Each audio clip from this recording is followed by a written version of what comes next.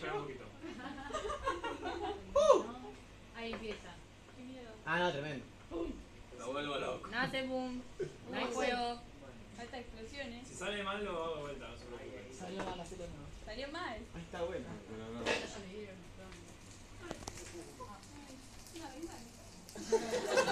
Gracias, Lara. Qué aporte. Lara quiere, Lara quiere chorear la bengala también.